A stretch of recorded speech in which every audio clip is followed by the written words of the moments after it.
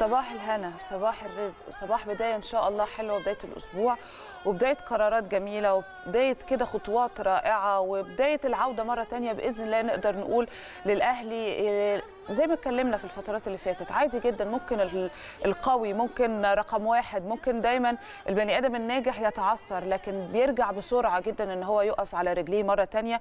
وأولى يعني زي ما بتقال كده خطوات الإصلاح. وأولى الخطوات اللي إحنا كنا منتظرينها بشكل كبير جدا والتصريحات اللي كنا منتظرينها. وزي ما بيتقال كده أنت كيان وليك ظهر. يعني أنت كيان كبير بس ليك ظهر برضو. في أي كبوة بتحصل أنت بتقدر إن أنت تلم الموضوع. وتقف وتدافع عن حقك وتطالب بيه كمان. مش الموضوع بيعدي كده وخلاص. إحنا كيان كبير جدا وتاريخ كبير جدا محدش ينسى دي. وهنتكلم في كل التصريحات اللي كابتن محمود الخطيب اتكلم بشأنها لأن هي حاجة محترمة جدا. وقال كذا حاجة على الجماهير وعجبتني جدا وعجبت ناس كتيرة جدا. لما قال لك الناس ما يعني ما بتأثرش معانا في الفرح عادي في الفترة اللي هم زعلانين مننا فيها لازم نستحملهم. إحنا لازم بنستحمل بعض لأن هو ده أو هي دي العيلة. العيلة بتعمل كده. صباح الفل والرزق. ومعانا النهارده أخبار كتيرة جدا. أكيد هتسعد حضراتكم. واخبار كمان نتمنى تكون مفيدة. صباح الخير يا كريم. صباح الفل عليك يا نهاوند صباح الفل على كل حضراتكم مشاهدينا في كل مكان في العالم. يوم جديد وبداية حلقة جديدة من 10 الصبح في الأهلي. أكيد هنتكلم مع, مع كل حضراتكم طبعا عن كل المستجدات ولا سيما كلمة الكابتن محمود الخطيب يعني اللي الحقيقة وضح من خلالها أمور كتيرة واللي برضه ألقى من خلالها الضوء على الكثير من النقاط المهمة جدا واللي كانت مثار جدل واللي تسببت في الوضع اللي إحنا فيه مؤخرا والحال اللي إحنا بنشتكي منه بقالنا فترة طويلة. الحقيقة كلام مهم جدا. هنتعرف مع حضراتكم على تفاصيله كاملة في الجزء الأول من حلقتنا النهارده. كالعاده بقى طبعا الجزء الثاني بيكون عبارة عن فقرتين حواريتين. الفقرة الأولى هينورنا من خلالها كابتن أحمد سلامة مهاجم مصر السابق وأكيد عندنا كلام كتير هناخد وندي معاه بخصوصه. وتاني وآخر فقراتنا في حلقتنا النهارده هتنورنا من خلالها دكتورة دينا أبو السعود وحوار حول مجموعة من النقاط اللي أعتقد إن هي تهم كتير جدا من حضراتكم. ولكن في سياق منفصل وقبل ما ندخل بقى معاكم في التفاصيل عايز أقول إن هوند عقبال مليون سنة وكل سنة وأنت طيبة. ويا رب سنة جديدة سعيدة عليك بص يا رب. ده تاني سنة نكون نشتغل مع بعض يا كريم. السنة اللي فاتت أنا لا ولا دي ثالث سنة. دي الثالثه ياه. آه الوقت يا نهار بيجري أبيض. يموت الوقت بي... يا أبيض، تالت سنة. آه دي أواخر الثانية أواخر الثانية لا دي ثالث سنة فعلا. يا جماعة. حد يفكرنا بقى المهم المهم. ثالث سنة فعلا. okay. يا نهار أبيض ده الوقت بيجري بسرعة جدا. طبعا لا طبعا بجد يعني دي حاجة تسعدني عقبال مبدئيا. مليون سنة.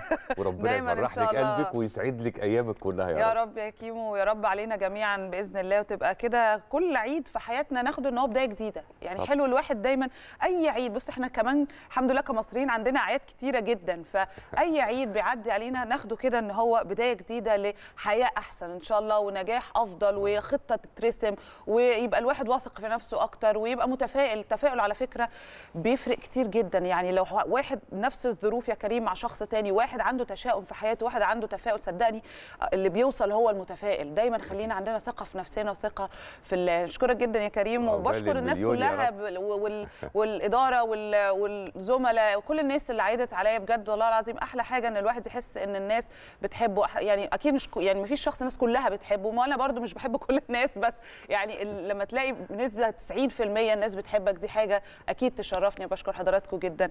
وبالمناسبة الحلوة دي بقى خلينا نخش على الخبر الحلو اللي كنا بنتكلم عليه واللي أسعدنا كلنا بجد كأهلاوية وكمصريين بصراحة بقى لو هتكلم لأن الموضوع ما كانش بس رسائل موجهة أو الحديث عنها عن الأهلي فقط. أنت لما تيجي تتكلم بنبرة فيها رقي كلام محترم جدا. أنت لما حتى بتدافع عن حقك بتدافع بطريقة محترمة. ده أعتقد المشهد اللي إحنا حابين إنه يكون سائد ما بيننا كلنا كمصريين.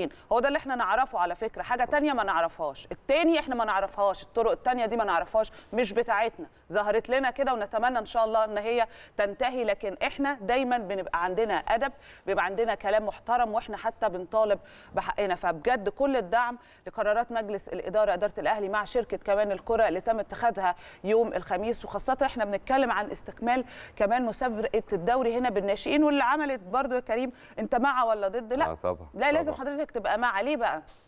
لكذا سبب. أول حاجة يعني بعد ال...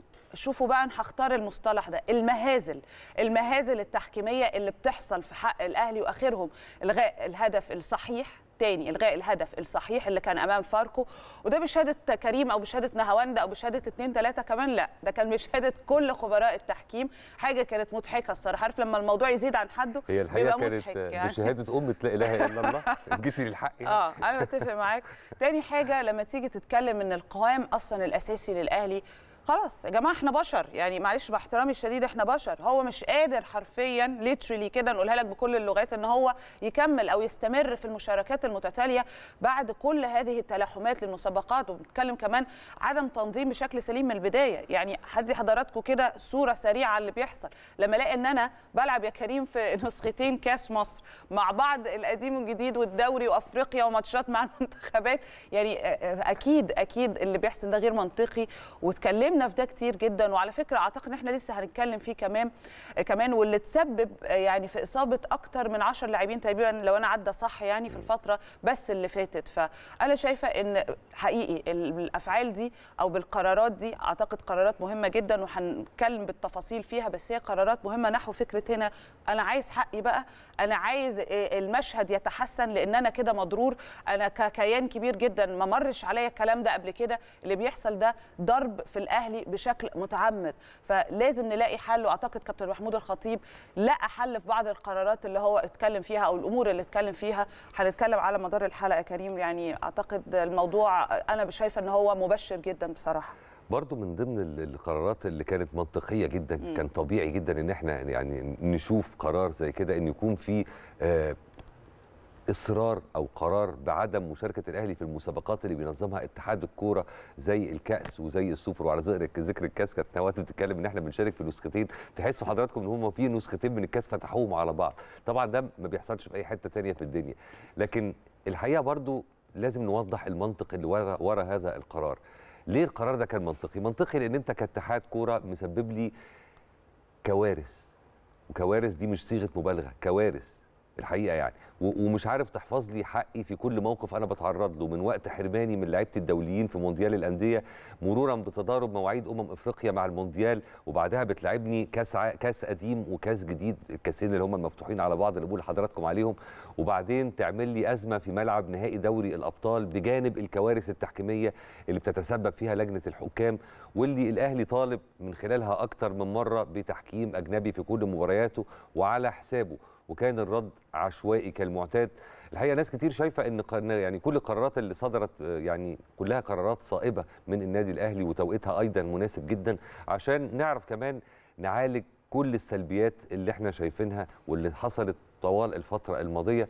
نتمنى بقى إن شاء الله إن اللي جاي يكون أثبت لأن اللي فات ده الحقيقة يدرس في علم العشوائية وعلم اللا منطق فعايزين الوضع ده يتغير الفترة الجاية. بتفق معاك. أعتقد كل الناس يعني متفقة على هذه النقطة. إحنا عندنا كمان فكره هنا أو كلمة مهمة أو رسائل حابين برضو إن إحنا نوجهها لكابتن يعني محمود أو وجهها عفوا كابتن محمود الخطيب يعني للناس عبر امبارح قناة الأهلي.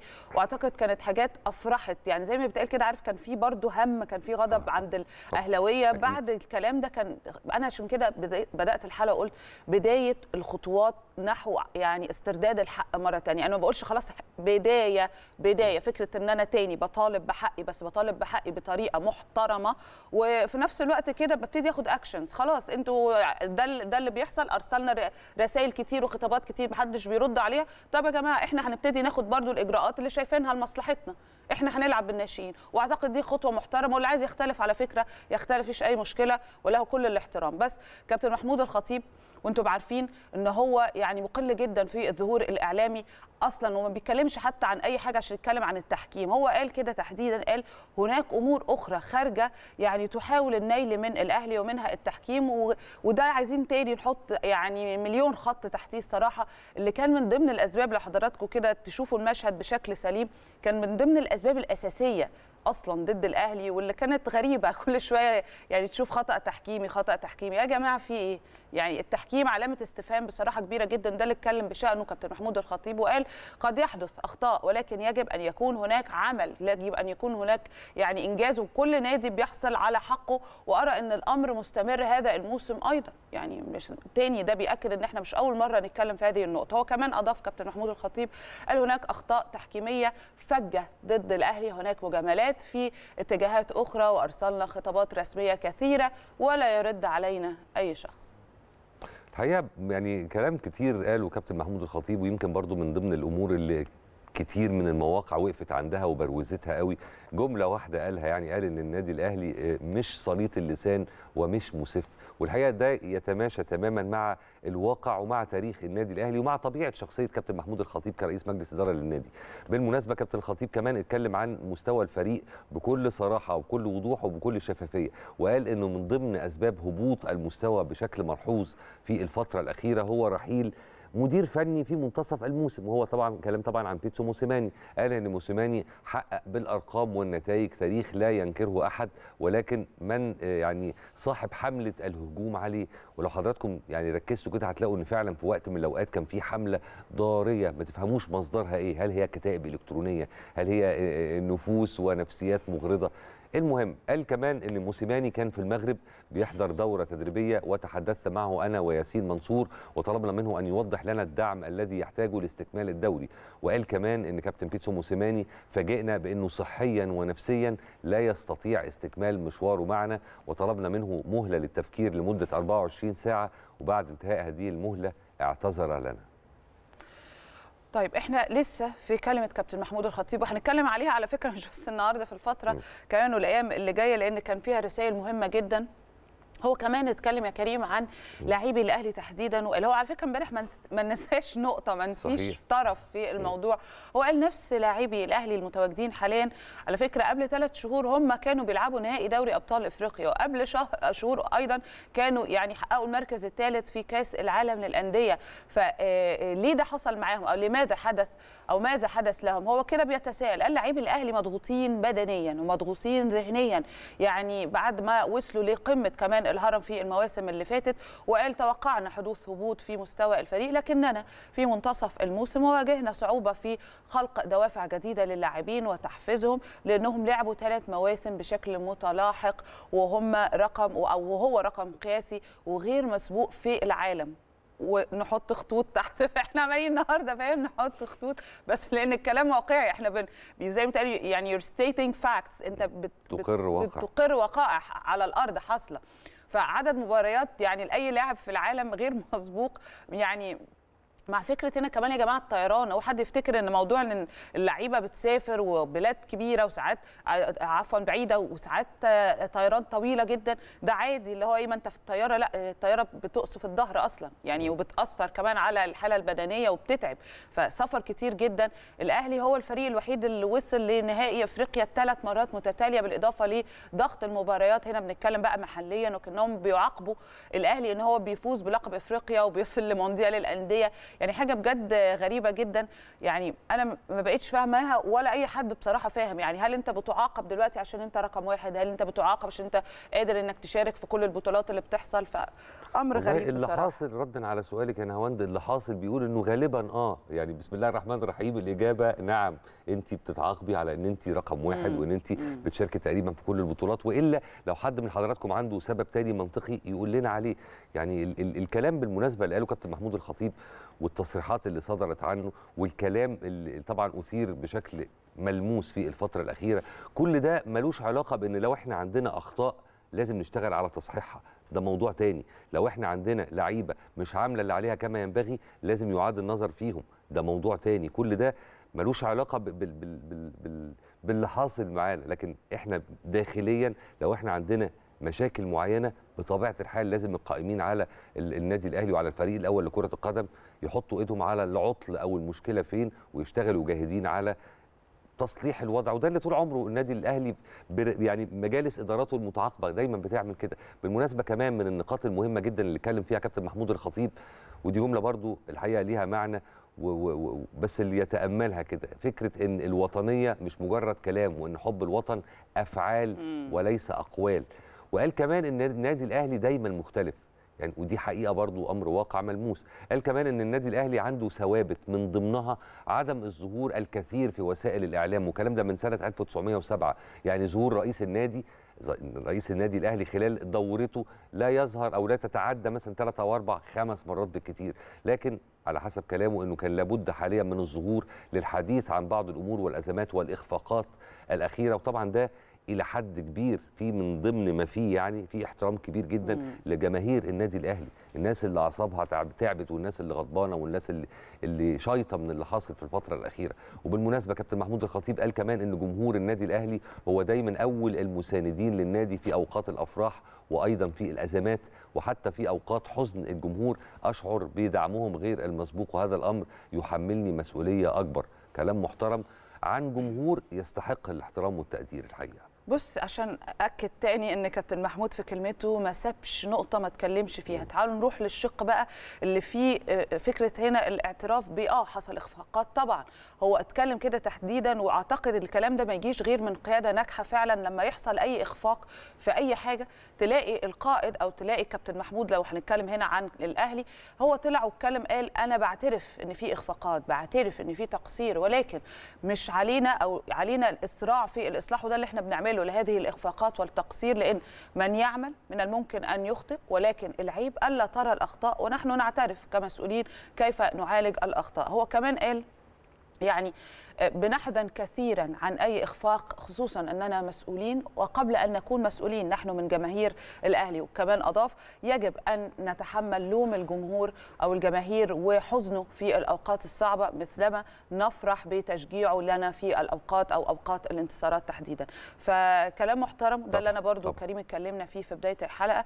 طبيعي جدا تاني كعيلة إن أنت تستحمل بعض كعيله إن أنت برضو قلبك بيبقى زي ما بيتقال كده يا كريم.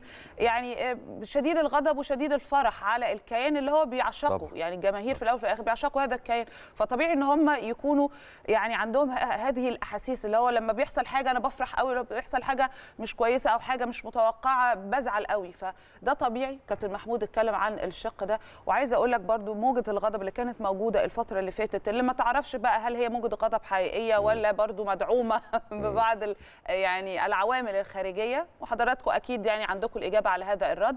لكن حاليا بجد آه، شيء محترم جدا. لو حضراتكم دخلتوا بنفسكم على ال social media هتلاقوا في دعم كبير جدا لكيان الأهلي وكمان خصوصا بعد كلمة آه، كابتن محمود الخطيب. الناس يا كريم زي ما بيتقال كده خلاص زعلنا أو أو يعني آه، غضبنا في فترة ما ووقت البيك بتاعها أو وقت يعني الإخفاقات اللي ما كنا فيها لأن كنا بنقول إن إحنا نستحق أحسن من كده.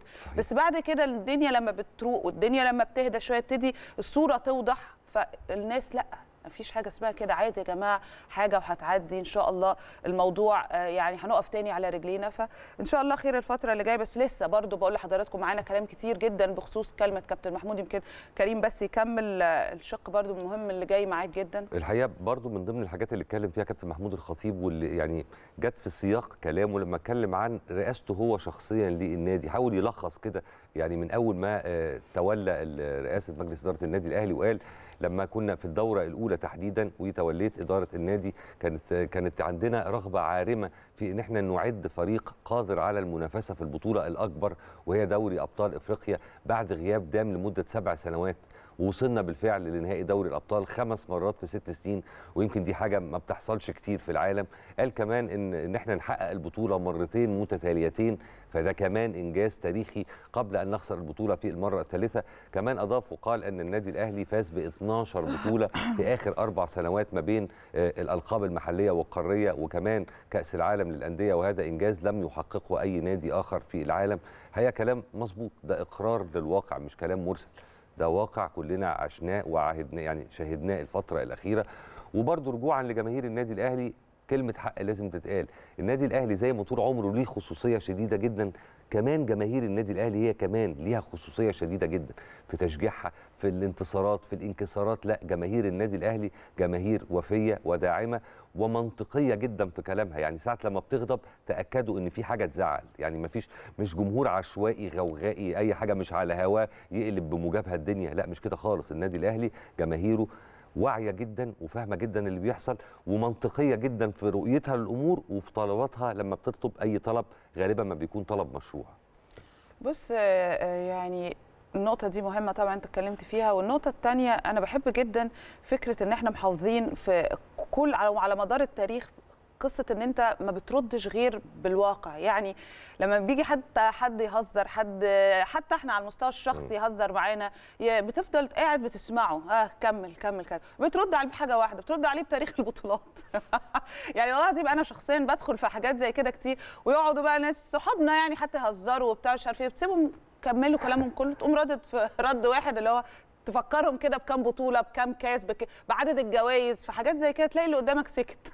يعني إحنا مش محتاجين زي ما بيتقال كده نحرق دمنا أصلا عشان نرد على أي حاجة. تاني إحنا كلنا يمكن كجماهير وككيان وكإدارة ومجلس إدارة وإدارة فنية كلنا تقريبا عندنا نفس ال- الفكر نفس الاتيتيود زي ما بيتقال آه، نفس التربية إن صح التعبير. فإحنا مش مفروض ننساق أصلا الحاجات زي دي خالص. وإيه المشكلة؟ طبعا آه ماشي آه خسرت أنا البطولة دي وبعدين؟ أنا كسبتها كتير جدا وهكسبها على فكرة قدام لسه. إيه المشكلة يعني؟ معلش والله أنا نفسي مش فاهمة فين الشيء المعضل. يعني هنقعد نكسب على طول حتى يبقى ملل يا جماعة. يعني مش ولا إيه؟ اللي هو لا زهق شوية تغيير بقى بطولات. شوية تغيير. هنفضل يعني لاعيبتنا ما شاء الله على طول. عادي عادي. ما فيهاش أي حاجة. هنرجع تاني على فكرة. خلينا نكمل مع حضراتكم. أكيد هنتكلم بتفاصيل أكتر في الفقرة مع كابتن أحمد سلامة. بس خلينا بقى ننتقل دلوقتي إن عندنا فيما هو قادم كمان مواجهات كتيرة جدا. والنهاردة إن شاء الله الأهلي هيواجه اتحاد السكندري على ملعب برج العرب في ختام منافسات الجولة التاسعة والتاسعه والعشرين من الدوري. زي ما حضراتكم أكيد متابعين. وقائمة الأهلي خلينا نقولها لحضراتكم سريعا حراسة المرمى علي لطفي ومصطفى شوبير حمزة علاء خط الدفاع عندنا رامي ربيعة ومحمود متولي ومحمد هاني محمد عبد المنعم كريم فؤاد محمد أشرف بكري محمد خليفة ومحمد أحمد وخط الوسط عندنا أليو ديانج ومحمد محمود وبيرسي تاو ولويس ميكيسوني ومحمد فخري محمد حمدي وميدو نبيل زياد طارق وأحمد سيد عبد النبي وخط الهجوم أخيرا حسام حسن وصلاح محسن وأحمد سيد غريب وعلي عمرو. ويمكن أسماء مش common كتير لبعض الناس دلوقتي اللي بتسمعها لكن خليني أقول لحضراتكم مرة تانية إحنا عندنا يعني مش بس فكرة فريق أول قوي إحنا عندنا ناشئين أقوياء جدا. عندنا ناشئين متميزين جدا. إحنا رحنا بجولات وشفنا وحضراتكم أكيد عارفين مصنع الناشئين اللي عندنا. الفكرة كلها إن بعض اللعيبة المتميزة بتحتاج فرصة وأعتقد هي دي أو هو ده التوقيت السليم. كل واحد بيحصل على فرصة لازم إن هو يثبت نفسه فيها. فبالتوفيق إن شاء الله. وكلنا في ظهرهم وكلنا عندنا ثقة بإذن الله إن هيبقى في ماتش حلو جدا واللي جاي بإذن الله يكون أحسن كمان من اللي عدى. تعالوا بقى نروح يا حضرات لموضوع مختلف وملف منفصل. تعالوا نهني المنتخب الوطني للأولمبياد الخاص لكرة القدم النسائية الموحدة اللي فاز بالميدالية البرونزية في منافسات كأس العالم للأولمبياد الخاص اللي أقيمت في مدينة ديترويت الأمريكية واللي انتهت بالأمس. الحقيقة اللي حصل كالآتي اكتسح منتخب مصر نظيره منتخب جزر الكاريبي بستة أهداف نظيفة في مباراة تحديد المركزين الثالث والرابع وبشكل عام نقدر نقول إن كان الأداء في منتهى القوة في منافسات البطولة دي بشكل عام وده بيعكس القوة والعزيمة والإصرار من لاعبات المنتخب لتكرار إنجاز عام 2018 بالحصول على برونزية كأس العالم. بالمناسبة كأس العالم للأولمبياد الخاص شارك فيه 22 منتخب يعني طبعا إلى جانب منتخبنا آه، المصري واللي الحقيقة عمل شغل أكتر من ممتاز. بص لسه في إنجازات كتيرة جدا على الأرض كمان. خلينا نروح لإنجاز كمان جديد لأبطال مصر. وكنا اتكلمنا مع حضراتكم الأسبوع كمان اللي فات عن البعثة المصرية المتواجدة بإنجلترا لعبور هنا بحر المانش يعني وقتها كنا عمالين نقول يا رب وإن شاء الله. الحمد لله دلوقتي نقدر نقول حققوا رقم جديد في عبور بحر المانش في زمن قدره تحديدا كده إن 12 ساعة ودقيقتين. بحب أنا برضو التفاصيل. دقة حلوة. الحقيقة بجد ده إنجاز يعني نقدر نقوله جديد جدا للرياضة المصرية بمشاركة هنا كل من السباح محمد الحسيني ده من ذوي الهمم تلا- متلازمة داون والسباح أحمد أسامة والسباحة شروات حافظ وسباحتين كمان ألمانيتين. كل ده عايزة أقول لحضراتكم كان بخ- بقيادة كابتن خالد شلبي السباح العالمي وقاهر المانش زي ما بيتقال عليه كده. مبروك أبطال مصر اللي صنعوا فعلا ونقدر نقول كده يعني تاريخ وقدروا يقدموا إنجاز جديد جدا للرياضة المصرية. تقدر إن هي تحقق رقم جديد كمان في زمن عبور بحر المانش أمر أعتقد مبهر أمر فيه إنجاز كبير جدا. كل الدعم لكل أبطالنا الرياضيين بجد اللي بيمثلوا مصر في مختلف البطولات وبيصنعوا تاريخ كمان مشرف مشرف جدا للوطن. وهنا نقدر نقول كمان بإصرار وبعزيمه بتفوق أي رياضي تاني. بصراحة نتكلم هنا عن أبطالنا من كمان يعني القادرون باختلاف خليني أقولها بهذا الشكل. فتحيه كبيرة جدا أنا بتعلم شخصيا من الناس اللي زي كده أو من الشخصيات دي من الفئات دي. كلنا لازم نتعلم من بعض بس هم يا كريم برضو تحس الموضوع مختلف لأن الموضوع فيه تشالنج أكبر. آه قد إيه أنت أوقات بس نفسيتك لما تبقى تعبانة تقول أنا مش قادر خلاص مش حاجة اسمها كده. ده أنت يعني أنت ربنا مديك نعم المفروض إن النفسية دي تسيطر عليها كبني آدم. لازم عندنا ال- الكلمة الأخيرة أو الكلمة الأقوى. تخيل بقى حد مع الصعيد الثاني عنده تحديات أصلا في أو جسديا. فيعني أنت فاكر كابتن خالد شلبي أصلا. لما استضفناه. والله العظيم حاجة تديك أمل في الدنيا. بجد. مفيش حاجة اسمها مستحيل. البني آدم اللي عايز ينجح لازم هيوصل بس لازم يصر إن هو يوصل مهما حصل. فربنا بجد يكرمهم ويستمروا في تشريفنا في الخارج ورفع اسم مصر في كل المحافل الدولية إن شاء الله. إحنا الحقيقة هنا في برنامجنا في 10 الصبح في الأهلي على من أول ما البرنامج انطلق لغاية آه، الحلقة الأخيرة. إحنا كل فترة وعلى فترات متقاربة كمان كل مرة بنستضيف بطل ما من أصحاب الهمم بيكون مشرفنا ورفع راية بلدنا عالية خفاقه في محافل دولية مختلفة مم. أقل حاجة وأقل وصف يتقال على الناس دول إلى جانب إن هم أبطال فهم أشخاص ملهمين هم أشخاص المفروض الواحد لما يبص لهم ويبص لظروفهم والملابسات اللي هم عايشين في وسطها ويشوفوا حجم التحديات والعراقيل اللي هم اضطروا يخوضوا فيها لا ده الناس السليمة المعافاة الحقيقة ما عندهاش ربع الإرادة دي ولا تمن الإصرار ده ولا سبع العزيمة اللي عند الناس دي. فالناس دي حقيقي هي دروس مستفادة ماشية على رجلين. فكل التحية وكل التقدير ليهم وكمان استكمالا لكلامنا هوند المتعلق بالاجازات اللي بتتم كل يوم والتاني واللي حصلت بصفة خاصة مؤخرا في الرياضات المصرية المختلفة. تعالوا نروح لختام منافسات البطولة العربية لشباب الملاكمة اللي استضافتها مصر في المركز الأولمبي واللي انتهت بالأمس بحصد الفراعنة ثمان ذهبيات وفضيتين وبرونزيتين حقق الميداليات الذهبية آه، يعني أو اتحققت عن طريق أدهم علي حسين وهو وزن 48 كيلو وعبد الله سعيد وزن 54 كيلو وأحمد عبد الحفيظ وزن 60 كيلو أحمد عبد الموجود وزن 63 كيلو ونص محمد حسام وزن 67 تميم نعيم وزن 86 عمر خالد وزن 92 كيلو جرام وحازم نادر وزن 92 كيلو جرام بينما حصد الفضيتين كل من محمد مبروك وزن 75 كيلو ومحمود سالم في وزن 80 كيلو بينما حصد البرونزيتين فارس فؤاد وزن 75 كيلو ومحمد أحمد الأحمر وزن 71 كيلو. مليون مبروك لأبطالنا وإن شاء الله مستنيين منكم المزيد والمزيد من النجاحات الفترة الجاية بإذن الله. تعالى برضو نروح كريم لكأس العرب للشباب هنا تحت 20 سنة والأداء يعني الأكثر من رائع لمنتخبنا بجد النهارده النهائي بإذن الله بي- بين المنتخب المصري والسعودي. وكان منتخب مصر كان كسب منتخب الجزائر بنتيجة 3-1 كان في نصف النهائي. بطولة أعتقد مهمة جدا وشبابنا مقدمين فيها مستوى أكثر من رائع. وبالمناسبة برضو خليني أقول لحضراتكم البطولة دي بتستضيفها المملكة العربية السعودية واللي تابع كمان المباريات شاف قد إيه في مستوى ومهاره الجيل الصاعد من أبناء مصر بجد لعيب المنتخب الوطني للشباب وقدرتهم. هنا على المنافسة في البطولة. يعني حاجة جميلة بنتمنى ليهم كل التوفيق النهارده وإسعاد بقى الجماهير المصرية اللي كانت حريصة كمان بشكل كبير ويمكن بشكل غير مسبوق على متابعة يعني مشوار المنتخب بالبطولة. ففي حاجات كده تديك بعض التفاؤل برضه. طبعا طبعا.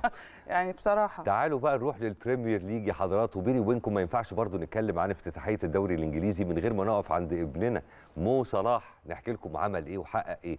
اللي حصل إن حساب الدوري الإنجليزي Premier League آه، يعني احتفل بالهدف اللي أحرزه الملك المصري محمد صلاح في مرمى فولهام بالأمس. الماتش انتهى بالمناسبة بنتيجة التعادل 2-2 لكن الحقيقة في رقم قياسي لازم نقف عنده ولازم نقوله لحضراتكم. محمد صلاح حقق رقم قياسي فريد في تاريخ مسابقة ال Premier League بعد ما أصبح هو أول لاعب في تاريخ الدوري الإنجليزي يسجل في المباراة الافتتاحية للموسم السادس على. التوالي. ده غير إنه يعني ضمن قائمة الأكثر تسجيلا للأهداف في الافتتاح برصيد 8 أهداف مع روني وشيرر ولامبارد الحقيقة وقال حساب ال Premier League عبر تويتر عن محمد صلاح وصفوه بالآتي قال لك لا يمكن إيقافه. محمد صلاح ينضم لقائمة الأكثر تسجيلا في المباريات المباريات الافتتاحية لل Premier League برفقة آه، وين روني وآلان شيرر وكمان فرانك لامبارد برصيد 8 أهداف. كمان احتفى واحتفل نادي ليفربول بالملك المصري محمد صلاح وكتب على تويتر وقال مقياس النظر الثاقب 6 على 6 تماما مثل مقياس صلاح التهديفي في المباريات الافتتاحية. تاريخ يكتب بأقدام من ذهب يا مو وهو الحقيقة تاريخ بيكتب بأقدام من ذهب يا مو يا مشرفنا ربنا يديمها عليك نعمة. ودايما كده بتسعدنا كمصريين وكعرب وتشرفنا في كل مكان في العالم مش بس في ال Premier League الحقيقة. تعالوا نروح لمركز التنبؤات للهيئة العامة للأرصاد الجوية ودكتور محمود شاهين. دكتور محمود بونجور صباح الخير. صباح الفل على حضرتك أهلا بيكي وكل السادة المشاهدين أهلا بحضرتك. وحضرتك بخير يا رب. ويمكن الأسبوع اللي فات كان أسبوع يعني معتدل إلى حد كبير. الجو كان حلو قوي. يمكن كمان الجو كان حلو قوي في الساحل الشمالي. آه مش عارفة في القاهرة بس حضرتك قلت لنا إن في استقرار إلى حد ما برضو. خلينا نعرف بقى ونطمن على بداية الأسبوع مع حضرتك. اتفضل. هو الحمد لله يا أستاذ نحواندي بالفعل الاستقرار مستمر معانا. يعني إحنا الأجواء مستقرة بشكل كبير. مفيش أي ظواهر جوية ممكن تؤثر على كافة الأنشطة اليومية. ما زال طبعا درجات الحرارة حول المعدلات الطبيعية. مفيش موجات شديده الحرارة خلال الست أيام الجايين على الأقل. لكن نسب الرطوبة ما زالت مرتفعة. بس كلما اقتربنا طبعا من السواحل الشمالية كل ما الأجواء كانت أكثر اعتدالا في درجة الحرارة. بخلاف كده يعني ممكن نشوف شبوره مائية الصبح بدري على بعض الطرق. كلما اقتربنا من مسطحات مائية أو طرق زراعية لكن برضه ما بتقللش الرؤية بشكل كبير. عشان كده بنقول ان الأجواء مستقرة على كافة محافظات الجمهورية. وإن كان هناك بعض فرص لتكون السحب الرعدية على أقصى جنوب شرق البلاد عند حلايب وسلاطين ممكن يصاحبها بعض سقوط الأمطار الخفيفة لكنها أيضا مش مؤثرة على الأنشطة هناك. كويس جدا. طيب دكتور محمود أنا عندي سؤال. هو إمتى فصل الخريف؟ لا فصل الخريف بيبدأ 21 سبتمبر. لسه طبعا إحنا قدامنا يعني شهر يعني. آه حوالي شهر أو أكثر من شهر. لله. طبعا مع بداية شهر 9 بتبدأ نسب الرطوبة تقل شوية كويس. وبتكون درجات الحرارة أكثر اعتدالا. إن شاء الله بقى قريب كده وندخل على الشتاء بإذن الله. نرجع للشتاء بقى. عايزين الأيام دي تعدي. شكرا ليك جدا وأكيد هنتابع مع حضرتك برضو على مدار الأسبوع الجاي. شكرا دكتور محمود. هانت شهر والله العظيم. مضحكة أنت جدا. سؤالك نميز بر... ده هو الخريف إمتى يا دكتور محمود الخريف يجي لنا إمتى؟ لا بس هانت والله شهر كويس كويس. يا هنستحمل الشهر ده يعدي. يا مسهل الحال. طيب خلونا نطلع فاصل سريع يا حضرات ونرجع نكمل معاكم. اتفضل. أهلا بكم من جديد. تعالوا بقى نتعرف على آخر الأخبار والمستجدات في النادي الأهلي في فروعه المختلفة. من خلال زميلتنا العزيزة هنا أبو القاسم هي موجودة حاليا في مقر النادي الأهلي بالجزيرة. صباح الفل عليك يا هنا اتفضلي إحنا سامعينك.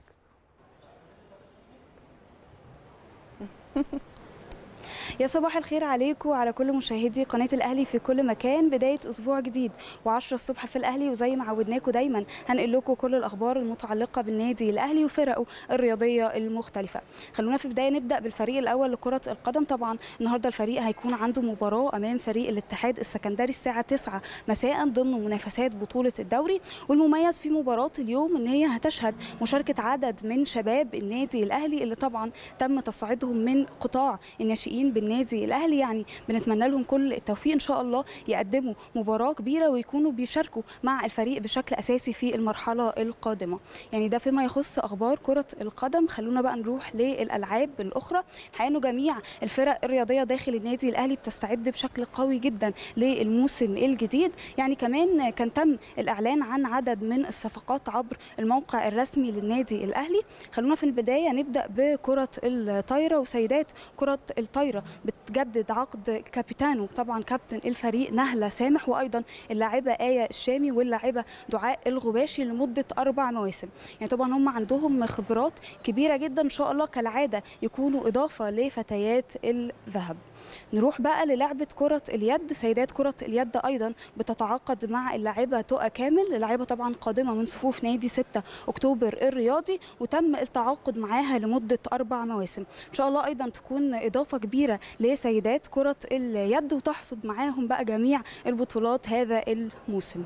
كمان رجال كرة اليد الحقيقة بيواصلوا استعداداتهم للموسم الجديد. طبعا زي ما إحنا عارفين هم بيتمرنوا فترتين في اليوم.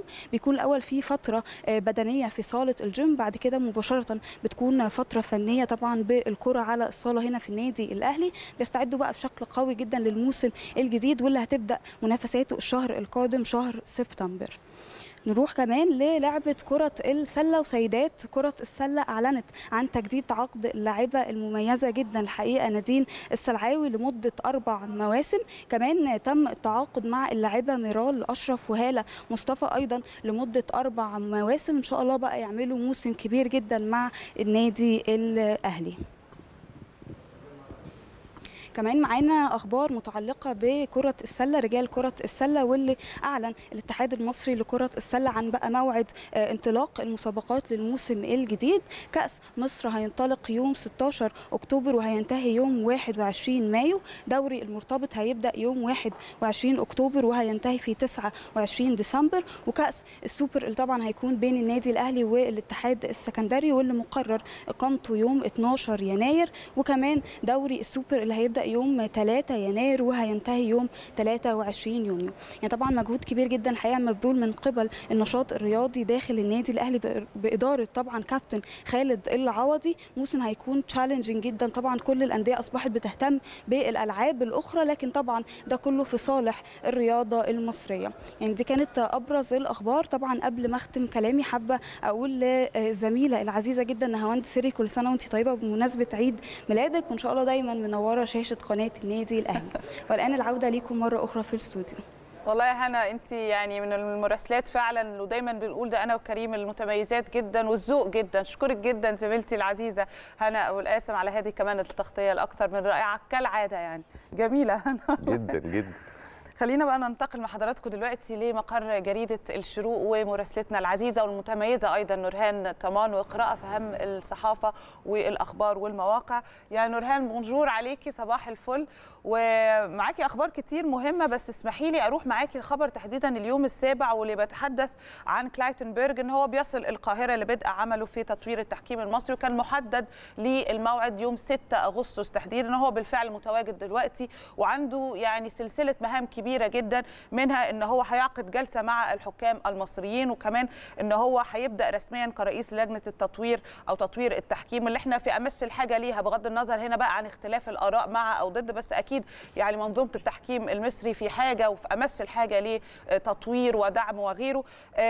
خليني أعرف منك تفاصيل أكتر على هذا الخبر خصوصا برضو إن كلايتنبرج كان أو من الناس اللي عملت طفرة في كل مكان راحوا. أخيرا كان أو مؤخرا كان في اليونان وأحدث برضو تطوير كبير جدا هناك وكان بيعمل كذا يعني نقطة كانت في غاية الأهمية منها مثلا على حد برضو معلوماتي إن هو كان يعني أقول لحضراتكم كان بيعمل كده شهريا زي تيست للحكام بدنيا وبيجروا وبتاع ويقيس هل هم لائقين أصلا ولا لأ للاستمرارية لأن هي شغلانة أو وظيفة صعبة وظيفة التحكيم يعني تحتاج كمان لجهد وبذل مجهود كبير جدا بدني.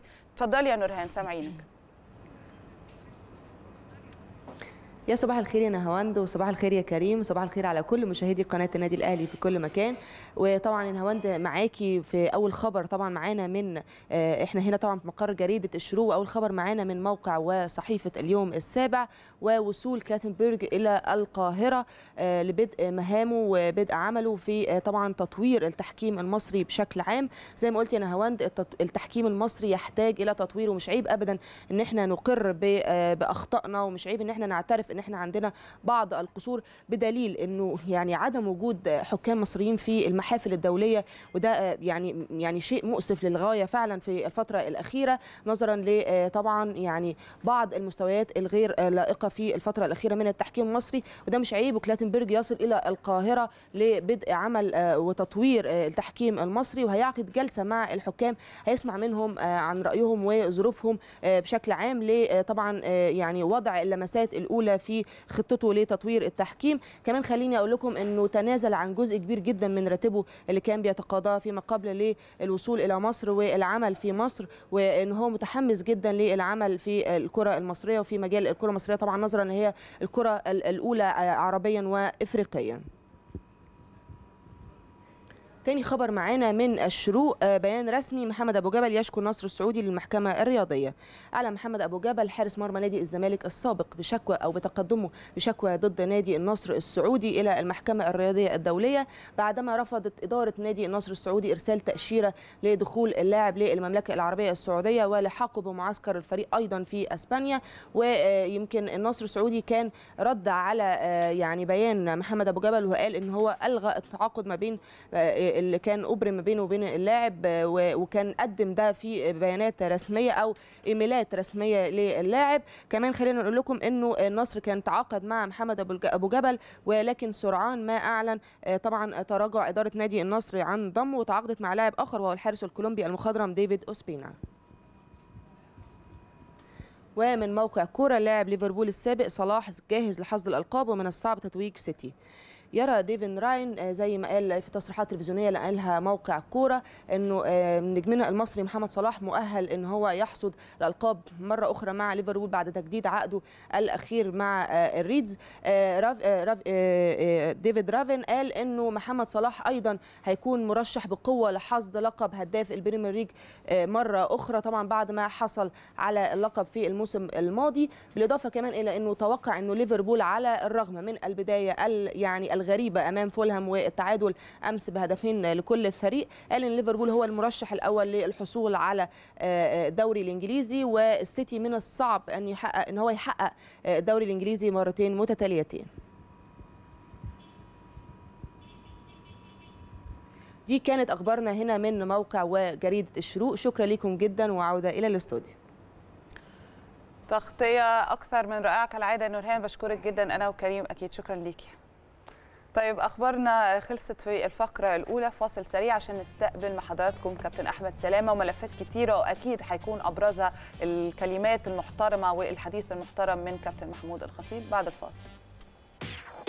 يا أهلا بكل حضراتكم في أول فقرة حوارية في حلقتنا النهارده من 10 الصبح في الأهلي. والحقيقة عندنا موضوعات وملفات كتير جدا قوي خالص هنتكلم فيها مع ضيفنا اللي منورنا في الفقرة دي كابتن أحمد سلامة مهاجم حرس الحدود ومنتخب مصر السابق اللي دايما بنسعد بوجوده معانا. وإن كان على فترات متباعدة ومش هينفع كده يا أبو الكباتن لا إن شاء الله ضربت الفترة- غطس أنت الفترة لا الأخيرة بقالك اللي كتير جاية إن شاء الله منورنا نكون مع بعض دايما إن شاء الله. منورنا أهلا بيك. صباح الخير صباح وأنا. سعيد جدا بالتواجد مع حضراتكم. ربنا يخليك صباح الخير كابتن أحمد. وزي ما كنا بننوه في الفقرة الأخيرة اللي فاتت قلنا إن إحنا هنتكلم معاك في ملفات كتيرة جدا بس أكيد هنبدأ بطبعا القرارات الأخيرة وكلمة كابتن محمود الخطيب اللي أعتقد لقت يعني رواج بشكل كبير جدا واستحسان بشكل كبير جدا على ال social media حتى الناس اللي مش أهلاوية بالمناسبة الناس اللي, اللي بتفكر بالمنطق أو بتستخدم المنطق في كلامها اللي هم شايفين إن فعلا الأهلي اللي بيحصل له ده غير طبيعي آه، كانوا مبسوطين من القرارات الأخيرة ومنها استكمال الدوري طبعا بالناشئين. فبداية لو نبدأ بالنقطة دي. هو يعني اللي هي شقين يعني الشق الأول طبعا كابتن الخط- الكابتن الخطيب لما بيتكلم آه، أكيد آه، بيتسند لحاجات آه، يعني هو حاطط إيده عليها بشكل واضح وصريح. الكابتن الخطيب قيمة كبيرة جدا أسطورة كبيرة أسطورة حقيقية لل- لل- للكرة المصرية والرياضة المصرية بشكل عام. بيلقى الكابتن الخطيب دعم كبير ومساندة كبيرة من الجماهير المصرية على مستوى على مستوى إن هو كان لاعب كبير وعلى مستوى إن هو اداريا ناجح بشكل. كبير جدا. الشق الثاني استكمال الدوري بالناشئين أنا شايف إنه الناشئين كان لازم ياخد فرصة يعني أنا يمكن كنت بتكلم قبل قرار الكابتن الخطيب آه، قلت يعني خلاص يعني أنا شايف إن ال- بعد مباراة آه، فاركو آه، أنا قلت خلاص أنا يعني قبل الكابتن الخطيب ما يتكلم أنا كنت بتكلم مع حد بنتفرج على الماتش قلت كفاية آه، لعب اللعيبة الكبيرة اللي موجودة. ويشوف بقى قطاع الناشئين شوية يطلع اثنين ثلاثة أربعة خمسة من الناشئين طبعا يكونوا نواة كويسة للفرقة ويكونوا مساندين بشكل كويس للفرقة في ظروف زي دي بالذات إن إحنا عندنا آه، تلاحم مباريات بشكل كبير جدا. اللعيبة بتجهد آه، اجهاد كبير جدا وال والمنتج منهم بيقل بشكل كبير. عندنا لعيبة آه، عندها إصابات كتير جدا نتيجة تلاحم المباريات فلما يكون عندك لعيبة ناشئين بشكل جيد واخدين الثقة عندهم خبرات يعني بيشاركوا بشكل آه، مش متباعد قوي يعني. بشكل قريب كل فترة بيكون ليهم دور. أكيد بيكونوا أكثر جاهزية وأنا شايف إن ده قرار جيد جدا هو. القرار ده كمان بيحمل أكتر من رسالة إن جيت للحق يعني إلى جانب إلى جانب إراحة المجهدين من اللعيبة بتوعنا. فأنت بتبعت كذا رسالة. اولا بتأكد على واقع وحقيقة موجودة بالفعل وهي إن شباب النادي الأهلي بخير. إحنا عندنا خط إنتاج عندنا مصنع لأبطال مستقبليين وكلهم بدون استثناء كلهم زي الفل. وجاهزين. دي رسالة. الرساله الثانية ودي ما تقلش أهمية عن الأولى. فكرة إن لو في حد مقصر بشكل أو بآخر لسبب أو لآخر لازم يكون فاهم كويس جدا إن في لحظة البديل هيكون موجود. بالظبط. هي دي؟ يعني أنا شايف إن ده برضه استراتيجية محترمة جدا. آه عندك قطاع الناشئين بي آه بيتم ال ال يعني ال الإعداد ليه أو أو ال أو ال الصرف عليه بشكل آه. كويس جدا أو التجهيز ليه بشكل كويس جدا في قطاع الناشئين. قطاع الناشئين النادي الأهلي من أقوى القطاعات. يعني يعني أنا كنت قريب في النادي الأهلي آه، شفت استعدادات آه، هايلة جدا جدا. اللعيبة اللي متواجدة لعيبة جيدة جدا. عندهم أجهزة فنية على أعلى مستوى وعندهم يعني الاجهزه المعاونة لل- اللي هو محلل الأداء والناس اللي هم ال- ال- ال- ال teamwork أو الناس المساندين للأجهزة الفنية على أعلى مستوى بيتم إعدادهم بشكل جيد جدا. محتاجين فعلا الفرصة يعني قرار جيد جدا من الكابتن خطيب.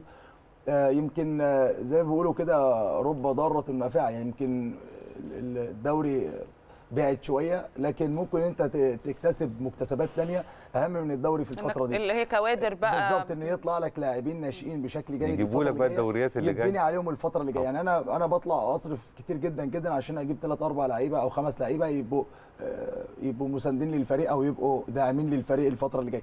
أنا ممكن أكتشف من ال- من اللاعبين اللي موجودين في في الناشئين النادي لعيبة جيدة جدا تقدر تقوم لي بالدور ده وتقدر توفر لي المبالغ الكبيرة دي وفي نفس الوقت آه، أنت عارف لعيب النادي بيكون عنده الحمية شوية وال... طبعا والغيرة شوية على. الفرقة أكتر من أي حد يعني أي حد بيدخل جوه النادي الأهلي بينصهر تلقائي ولكن لاعبين النادي بيكونوا مختلفين شوية بيكونوا أبناء النادي متربيين بالمعنى الحرفي متربيين بالظبط. طالعين. عندهم نفس ال نفس ال ال- القيم والمبادئ ونفس ال ال الروح ونفس ال ال يعني ال أنت عندك الشخصية اللي هي شخصية البطل طول الوقت أنا ما بلعبش على ما عنديش أي نتيجة غير المكسب طول الوقت. ويمكن ده اللي أثر شوية على يعني يعني نتائج مستر موسيماني إن هو في الفترة اللي كان موجود فيها حس إن أنا تحت ضغط طول الوقت أنا عايز أكسب طول الوقت. يعني هو ده جمهور الأهلي هو ده النادي الأهلي.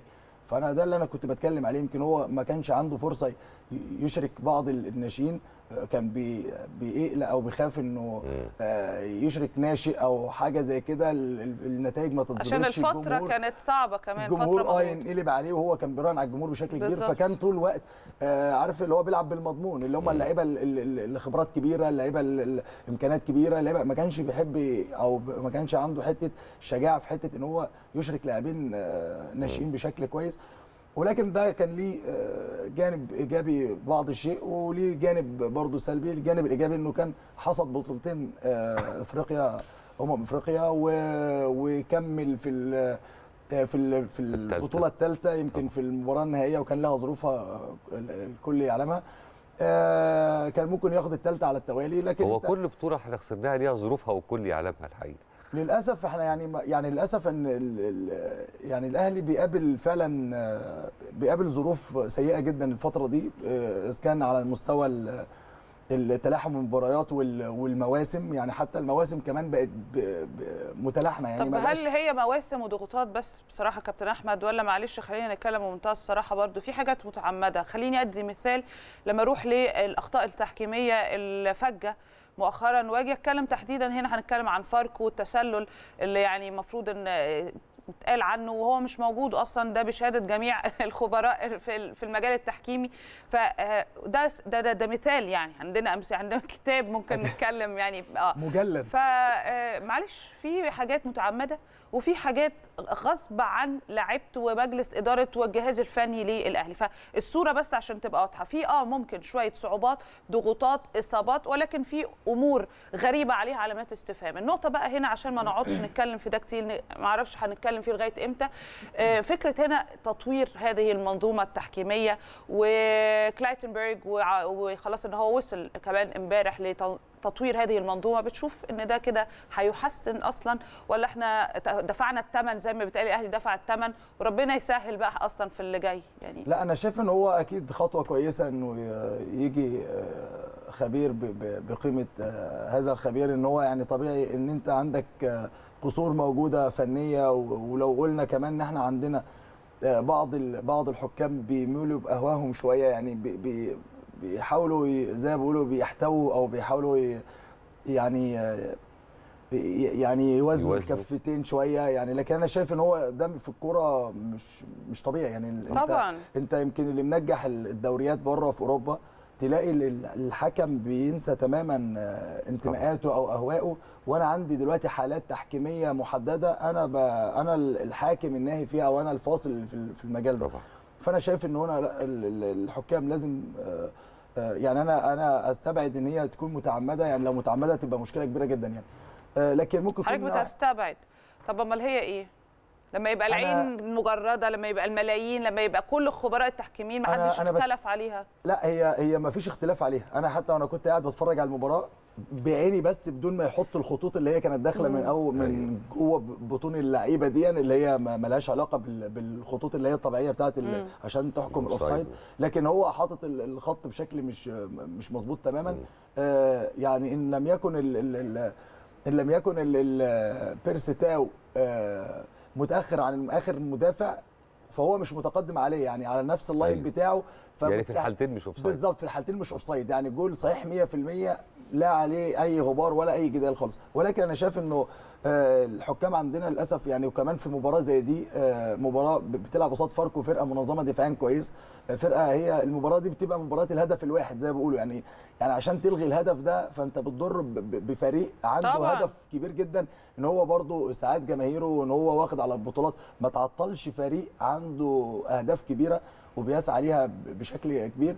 وفي نفس الوقت آه، آه، يعني في مباراة هو كمان عنده إصابات فيها كتير يعني أو في, في وقت في عنده إصابات كتير مش قادر آه، إنه يعني ما فيش حمل رفاهية بالظبط الاخطاء مفيش أصلا بالظبط يعني مفيش عندك وقت أصلا إن أنت آه، هتلغي جول هيجيب الثاني والثالث أصلا ال-. الإصابات كتير والمشاكل كتير جوه الفريق فأنا شايف إن هو يعني روح المنافسة للفريق آه، بتقل أو الروح العامة للفريق بتقل نتيجة إنه مفيش منافسة بسبب الإصابات المتكررة طول الوقت المص- الإصابات المتتالية نتيجة الإجهاد ال- الكبير اللي مم. تعرض ليه بعض اللاعبين اللي كانوا بيشاركوا سواء في محليا أو افريقيا أو على مستوى المنتخب ففي لعيبة فعلا تأثرت بشكل كبير جدا جدا وتحديدا منطقة وسط الملعب ال- يعني حمدي فتحي عندك آه، عمرو السولية عندك آه، برضو محمد شريف شوية لما برضو يعني محمد شريف يمكن يعني مشكلته بتبقى مختلفة شوية إنه انه يعني نفسيا مستر آه، موسيماني ما كانش بيتعامل مع مع محمد شريف بش-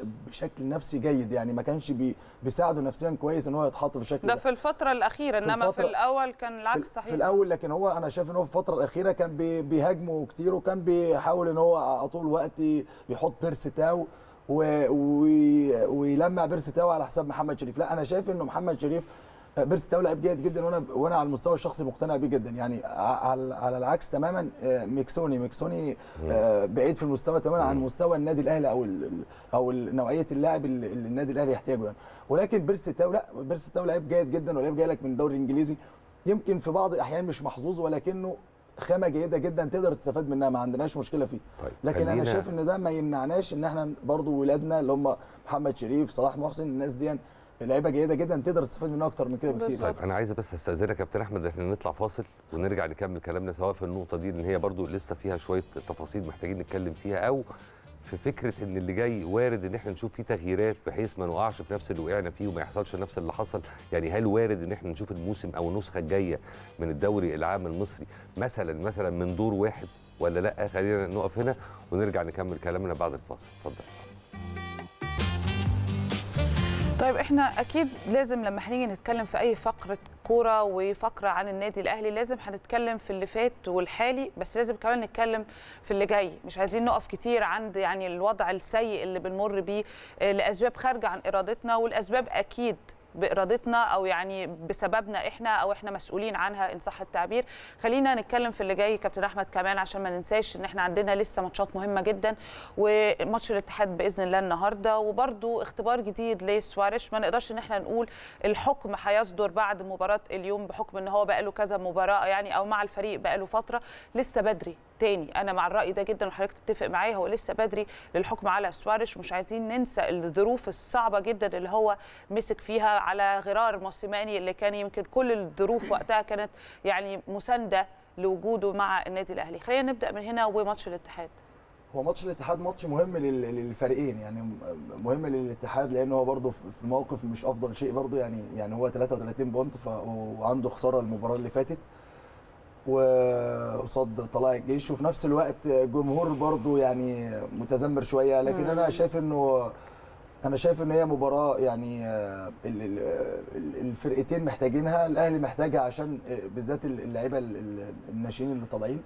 آه، أنا كنت بس أتمنى إن هو مستر سوارش لما أول ما يجي على طول ويلاقي عنده كم النواقص اللي موجودة بسبب الاجهاد والإصابات والحاجات دي كلها كان يلقي نظرة على قطاع الناشئين على طول على طول ده هو تلقائي. جاي على مستشفى أساساً. حاجة حاجة أوتوماتيك آه بالظبط يعني أنت عندك قطاع عندك ال... عندك ال- الفريق الأول الفريق الأساسي عندك فريق أساسي كامل فريق كامل أساسي كله مصاب صحيح. كله قاعد آه، عنده إصابات فأنا طبيعي تلقائي باجي بلاقي عندي عدد معين من اللاعبين لازم أدعم على طول بقطاع الناشئين لازم أنزل على طول على قطاع الناشئين ابص بعينيا كده أشوف مين اللي ممكن احتاجه يكمل لي أو يسد لي بس ده كان. أكيد آه، آه، الشق ع- م- يعني المسؤول عنه آه، الجهاز المعاون يعني مش سوارش تحديدا لأن هو برضو خلي بالك جاي لسه مش مش عارف هو قوي. أكيد بيستكشف لكن طبيعي جدا إن أنا كمدرب جيت لقيت عندي كم إصابات كبيرة للعيبه أساسية لازم أبص على طول. أكيد ال- الجهاز هو آه، رشح ده أكيد برضو أنا أتوقع بالظبط. هو ده رقم واحد. رقم اتنين أنا دلوقتي لما ما, ما استناش قرار مجلس إدارة إن أنا خلاص هلعب بقطاع الناشئين لا أنا بكون عندي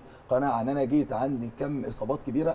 عارف إن هو وأكيد آه، مستر سواريش آه، راح له يعني يعني data كاملة عن عن ال- الحالة اللي عليها الفريق منذ فترة يعني قبل مثلا على الأقل من شهرين ثلاثة مثلا أيوة. آه، بالمباريات باللعيبة المصابة باللعيبة الجاهزة بالناشئين بالحاجات ده. كان عنده كل ال data دي.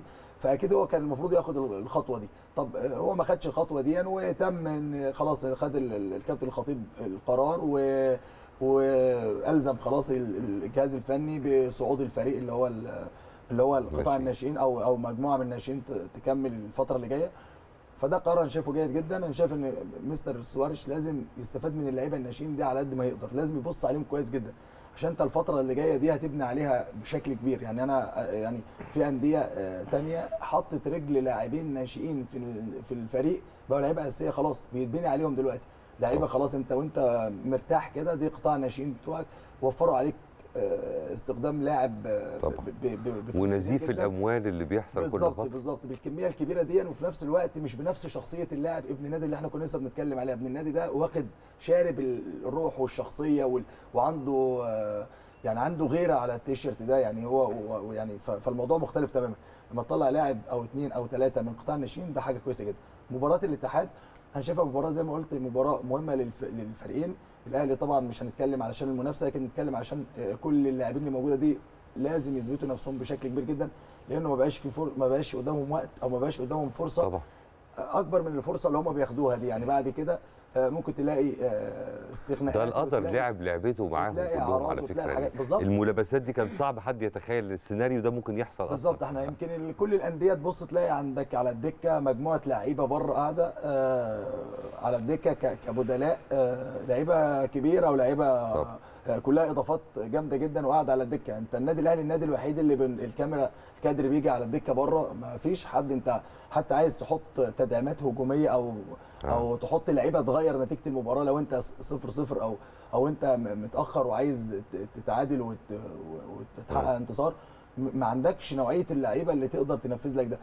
آه، فأنا شايف إن مستر آه، سوارش الراجل يعني معذور جدا. آه، ما نقدرش نحكم عليه غير بعد أول توقف وما فيش طبعا توقف لحد نهاية الموسم. فإحنا بنتكلم إنه طبعا دي رؤية مجلس الإدارة. خطيب مش فاضل كتير فاضل شهر تقريبا وحاجة ففي كده. الوقت ده تقدر أنت ما أقدرش أحكم عليه أنا ك ك كحد مثلا متابع لل- لل- للكورة بشكل مثلا كمحلل طبعا. أو كناقد أو كجمهور إلا إذا حصل توقف طلب اللعيبة بتاعته اللي هو محتاجها عودة اللعيبة المصابة. بدأنا نشوف شكل الفرقة في تطوير للفرقة أقدر أقول لك ده مدرب جيد أو غير جيد ولكن أكيد آه، طالما تم ال- يعني تم التعاقد معاه يبقى كده عنده سي في كويس عنده طبعا. عنده فكر جيد ولكن أنا شايف إنه آه، يعني ال- ال- الفترة اللي جاية فترة هتكون جيدة للنادي الأهلي إنه بدأنا نحط إيدينا على النقاط ال- ال- ال- ال- المشاكل اللي عندنا أيوة. بصرف النظر عن التحكيم أنا شايف إن وبنتعامل معاها بشفافية بالظبط يعني ما فيهاش مشكلة خالص إن إحنا وارد جدا مش كل الأندية بتفضل طول الوقت يمكن النادي الأهلي من من أعظم الأندية في العالم مش مش اللي بتصمد لفترات بالظبط. يعني أنت. كل 10 سنين ولا حاجة أنت عمال تاخد فيها كل البطولات ممكن بتقع موسم مثلا ولا حاجة وهو ده وارد جدا نتيجة كم الضغوط وكم ال- بالظبط. طب بالنسبة للتحكيم اللي حضرتك كنت بتقول عليه؟ بالنسبة للتحكيم أنا شايف لا التحكيم لازم لازم لازم الناس تركز أكتر من كده. لازم تحط الانتماءات وال وال وال والأهواء على جنب. لازم يقيموا العدالة لأن هو أنت أنت مسؤول قدام ربنا سبحانه وتعالى. على إنك تقيم العدالة. وأي خطأ تحكيمي ده بيبقى خطأ أو وح- حاجة وحشة للمحكم. أنا مش بتكلم هنا جنسيته إيه أنا بتكلم كفكرة إن أنا لما بخطأ أنا ده بيتحسب في السي في بتاعي. فأنا بتضرر أنا كمان. فيعني بالظبط أنا شايف لو فكرنا فيها كده. أنا شايف إنه كمان يعني في مباريات بتبقى زي كنت لسه بتكلم مع الأستاذ كريم دلوقتي إنه في مباريات مباريات الهدف الواحد. يعني مباراه اللي أنا عايزة أنا. أنا النادي الأهلي مش في أفضل حالاته. عنده إصابات عنده حاجات عنده مشاكل كتير. وبلاعب فاركو فرقه بتدافع بشكل كبير وكل الفرق بتلعب قصاد الأهلي بتدافع وبتقفل وأنت محتاج تجيب جول عشان تخلص. ففي الوقت ده لما تجيب الجول وتلاقي حكم بيصفر لك يقول لك ملغي فأنت بتقتل فيها نوع من. القهر أنا بتفق معاك جدا. إن شاء الله خير الفترة اللي جاية. للنادي الأهلي. نتمنى إن شاء الله الاعتماد على الناشئين اللي هيشرفونا وإحنا واثقين في ده. كمان فكرة هنا ال- الإعارة اللعيبة اللي في إعارة. نشوف كده وضعهم عامل إزاي. إحنا في حاجة ليهم أعتقد دلوقتي. أكيد. يعني في بعض الأمور اللي أكيد هتتم في الفترة اللي جاية على أرض الواقع. بالنسبة لمجلس الإدارة أعتقد إن هو بيتخذ يعني الإجراءات دائما ما يتخذ الإجراءات السليمة لصالح النادي الأهلي. شكرا ليك كابتن احمد بالتوفيق جدا بالتوفيق نورتنا. وإن شاء الله اللقاء اللي جاي بقى مع حضرتك يبقى فيه موضوعات أسعد حالا من اللي إحنا آه، بنتكلم زعلان فيها أنا دي جاي إن شاء الله. بعد في إحنا النهارده جايين يعني حزيني مرة- شوية بس إن شاء الله اللي جاي كل مرة. باجي بيبقى بعد مكسب وانتصارات اللي جاي إن شاء الله هيكون بعد مكاسب وانتصارات. نورتنا وبنشكرك على. وجودك معانا جزيل. الشكر. شكراً ربنا. يخليك. مشاهدينا في كل مكان اسمحوا لنا نطلع فاصل سريع وبمجرد العودة من الفاصل هتكون نهاوند مع يعني الدكتورة دينا أبو سعود ولقاء حول موضوع أعتقد يهم كتير جدا من حضراتكم خليكم معانا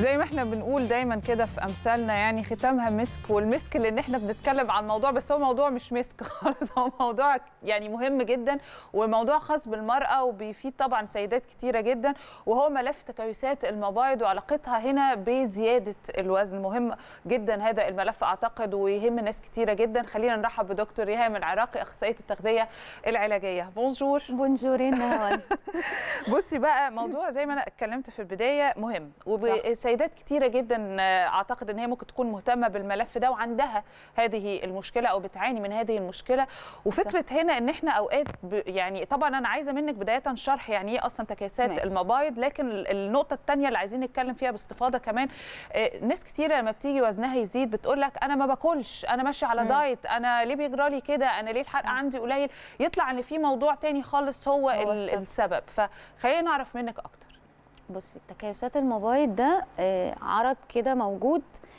آه، الدراسات مش عارفة هل هو بسبب مقاومة الإنسولين ولا أنا لما بيجي لي تكيسات فبيجي لي مقاومة إنسولين. يعني هم مش عارفين هل آه، جالي مقاومة فأنا جالي تكيسات ولا جالي تكيسات فبقى عندي مقاومة فالحقيقة إنه السبب لحد دلوقتي لسه مش واضح بس ممكن يكون حاجات معتمدة على genetics ممكن يكون بسبب ال lifestyle؟ آه حاجات. وراثية وحاجه مثلا معتمدة على ال lifestyle بتاعي وطريقة أكلي فبالتالي جابت لي مقاومة إنسولين فبقى عندي تكيسات مبايض أعرف منين إن أنا أصلا عندي تكيسات مبايض في أعراض واضحة كده لو اجتمع مثلا ثلاثة منهم يبقى أنا أكيد عندي بس برضو لازم أعمل تحاليل وبنقول برضو على التحاليل بتاعتها مثلا؟ أول حاجة إنه ال- الدورة الشهرية مش بتبقى منتظمة. يعني مم. بيبقى في انقطاع لفترة طويلة أو لو جت بيبقى في تكرار على فترات قصيرة. Okay. دي أول حاجة وده بيحصل نتيجة خلل الهرمونات. تاني حاجة إن أنا وزني مهما عملت من diet ورياضة وال lifestyle بتاعي كان مظبوط بلاقي إن أنا وزني يعتبر ثابت أو إن أنا حاسس إن أنا كمان بزيد في الوزن. مم. تالت حاجة ودي أشهر حاجة برضو مع الحاجتين دول اللي هو السقوط الغزير في الشعر. يا شعري بيقع كتير قوي غير العادي وبالذات بيفضى من قدام. آه. يعني إحنا في العادي شعرنا بيقع لما مش بناكل كويس شعرنا بيقع كتير. بس الفراغات اللي بتبقى قدام دي بالذات هي برضو بتبقى أعراض تكيسات. حاجة كمان لو بنات مثلا بشرتها oily شوية أو دهنية أو حتى combined مختلطة بتلاقي إن ال T-zone بتاعتها دي المنطقة دي كلها إفراز الزيوت فيها زيادة عن اللزوم مم. يعني مش الطبيعي وآخر حاجة وهي اللي هو بيظهر شعر شوية في مناطق غير مرغوب فيها يعني تلاقي مثلا الحتة دي تقيلة شوية الرقبة تقيلة شوية الإيدين اذا وقتها بقى فيها لازم إن إحنا نروح نعمل تحاليل عشان السيدة. تتأكد إن هي بالظبط فيها مشكلة بعمل. تحاليل بتاعة سكر وبعمل okay. تحليل اسمه HOMA-IR عشان أعرف أنا عندي مقاومة ولا لأ. once إن هو عندي ببتدي أروح للدكتور بتاع أمراض النساء عشان يشخص حالتي مظبوط يشوف أنا النسبة بتاعتي قد إيه. بيعمل سونار برضو عشان يتأكد هو أنا التكيسات عندي نسبتها قد إيه وحجمها قد إيه. فبالتالي بيقدر يحط العلاج المظبوط. كويس. طيب حد خلاص اكتشف إن هو أو يا سيدة يعني اكتشفت عندها تكيسات مبايض okay؟ آه ده بقى إزاي بيعوق أصلا؟ يعني فكرة إن أنا ما أنزلش في الوزن يعني إيه ال relation أو إزاي related لده؟ ال relation اللي هي المقاومة بتاعة الإنسولين. إن أنا لما هما الاثنين linked لبعض. لما بيبقى عندي تكيسات بيبقى عندي مقاومة. مقاومة إنسولين معناها إن أنا أي حاجة نشويات أو سكريات بتخش جسمي حرقها بيبقى ضعيف شوية فبيبقى عندي سكر دم عالي فكل السكر ده بيتخزن إن هو دهون في الجسم. مقاومة إنسولين معناها كمان إنه أنا الإنسولين عندي مش متظبط الخلية مش حاسة بالإنسولين. فإفراز الإنسولين مش دايما بيبقى بال normal range أو المعدل الطبيعي بتاعه. فأنا محتاج أظبط الحتتين دول عشان ما يبقاش عندي تخزين دهون زيادة وفي نفس الوقت ما يبقاش عندي إنسولين عالي فمش عارف يكسر لي أو يحرق لي النشويات دي وبالتالي برضو بيزودني في الوزن. طيب أنا دلوقتي بقى زدت في الوزن. آه. المشكلة حصلت. أبتدي ألجأ لإيه كسيده عايزة أخس عندي مشاكل صحية بتمنعني إن أنا أخس بشكل سليم وعايزة أخس. فهل ممكن لو هنا جيت سألتك عن منتج بيستا مم. آه، مع وجود تكيسات مبايض لكيس معينة إن هو. فعلا يقدر إن هو يساعد على نزول الوزن الوزن. وبشكل سليم وبشكل صحي وما يأثرش على ال- المرض ده أو المشكلة دي؟ مظبوط. أول حاجة زي ما قلنا إحنا بنلجأ للدكتور بتاع أمراض النساء عشان يدي الأدوية المناسبة. كويس. الأدوية دي بيبقى شق منها معتمد على تظبيط الهرمونات الأنثوية استروجين وبروجستيرون والجزء الثاني بيبقى ليه علاقة بتظبيط السكر في الدم.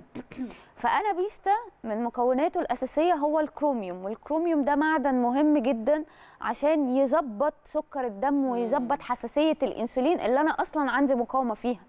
دي أول حاجة. تاني حاجة إن إحنا دايما البنات اللي بيبقى عندها تكيسات بيبقى ال cravings عندها عالية أو النهم أو الشره ناحية الأكل بيبقى عالي. ففكرة إن أنا أديها حاجة control الكمية دي وده طبعا بيحصل نتيجة لخبطة الهرمونات في نتيجة العرض اللي موجود عندها ده. طيب أنا لما أدي حاجة فيها ألياف عالية ال- وبيستا خلي بالك يا نهاوند هو أول منتج مصري فيه ثلاث أنواع من الألياف اللي هم القشور بتاعة السيليوم ورده القمح والشوفان بتركيز 6 جرام. فانا بظبط الانسولين بطريقه من الكروميوم. تاني حاجة بقفل الشهية بتاعتي وبقضي على ال craving ده واحدة واحدة وبقلل الكميات لأن هما برضو بياكلوا بكميات كبيرة. ممكن نقول مثلا نص الشهر هم عندهم نفس ال craving ده أو عندهم نفس المشكلة ده وده طبعا هينعكس إن هم بيدخلوا كمية أكل كتيرة فبيزيدوا في السعرات. فبيزيدوا دهون.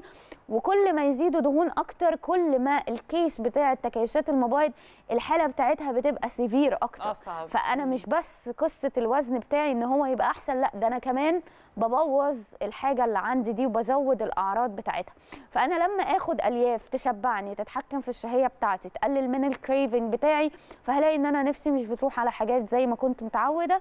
وفي نفس الوقت كمان باكل بكمية قليلة فمدية مساحة لجسمي إن هو يحرق من الدهون المتخزنة. آخر حاجة فيه هو فيتامين سي وفيتامين سي مهم جدا عشان المناعة وعشان البشرة بس هو كمان ليه دور كبير قوي في ال fat oxidation أو في حرق الدهون. فأنا بكون دهون أو عندي دهون أصلا فمحتاج إن أنا أتخلص منها.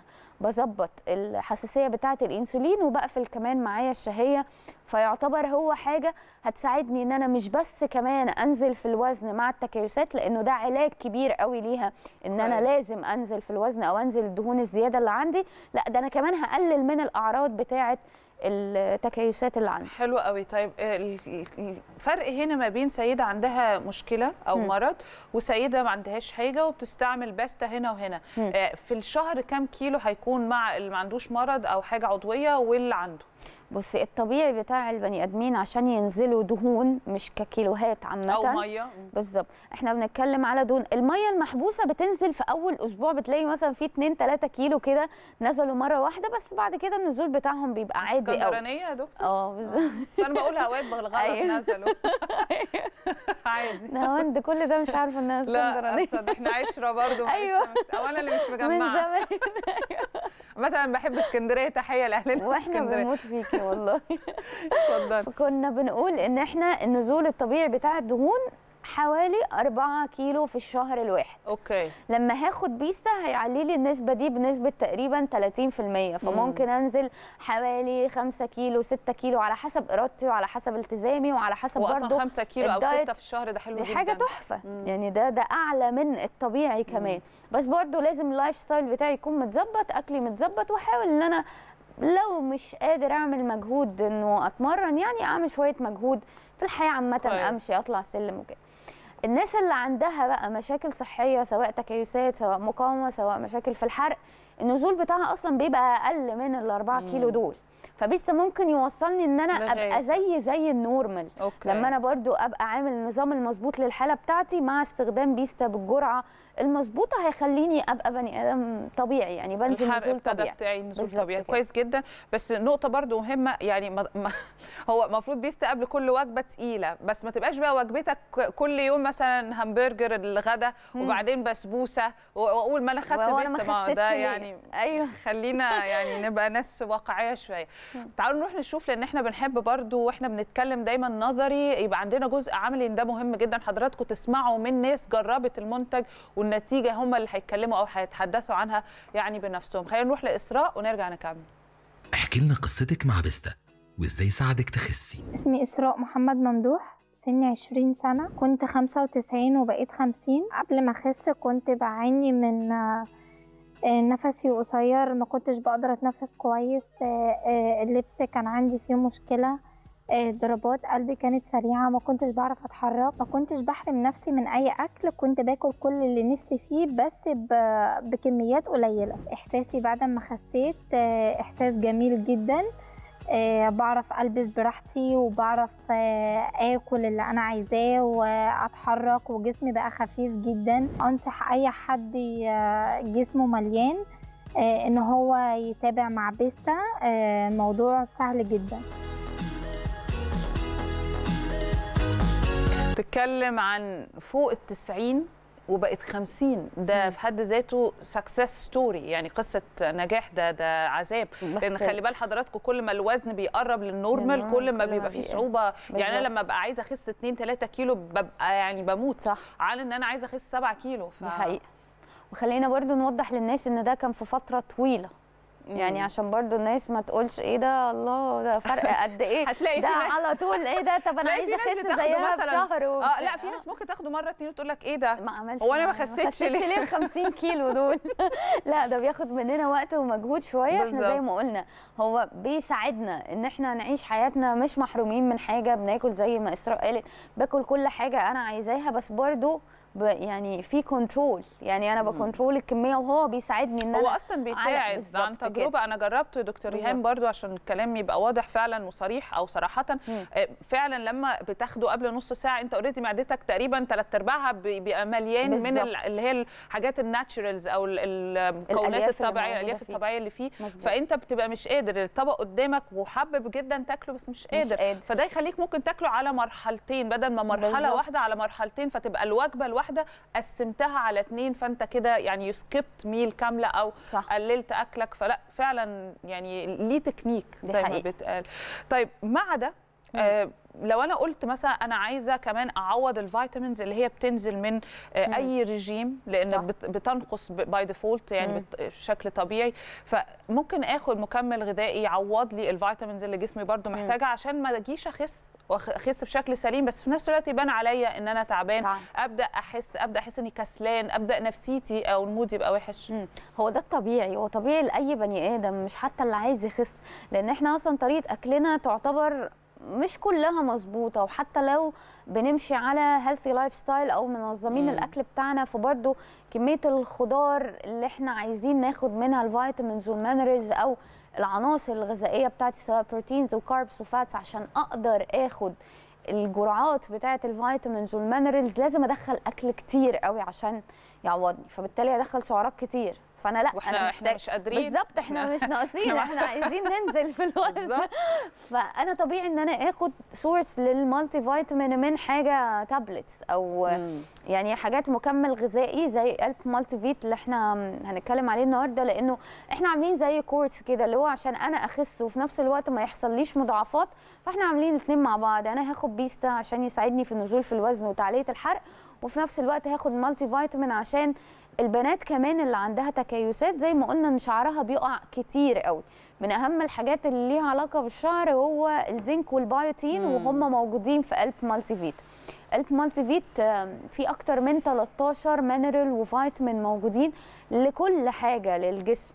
يعني مش بس لسقوط الشعر لا ده أنا بتكلم بقى على المناعة بتاعتي بتكلم على ال power أو التركيز بتاعي وال productivity بتاعتي أو. إنتاجيتي في الحياة تبقى أعلى كتير إنه شعري ما يقعش بشرتي ما تتأثرش ضوافري ما تتكسرش عظمي يكون أقوى وما عنديش هشاشه عظام لأنه برضو أغلب الناس مش بتاخد كالسيوم كفاية فأنا عندي أكتر من 13 عنصر وفيتامين موجودين اللي هم أشهرهم المجموعة بتاعة B complex اللي هي مهمة جدا عشان الأعصاب وعشان الحرق بتاع الكربوهيدرات بالذات. عندي vitamin C بالتركيز 500 مللي جرام وده من أعلى التركيزات اللي موجودة. المهم طبعا عشان المناعة وعشان الكولاجين في البشرة بتاعتي. عندي كمان vitamin A و vitamin E اللي هم antioxidant أقوياء جدا.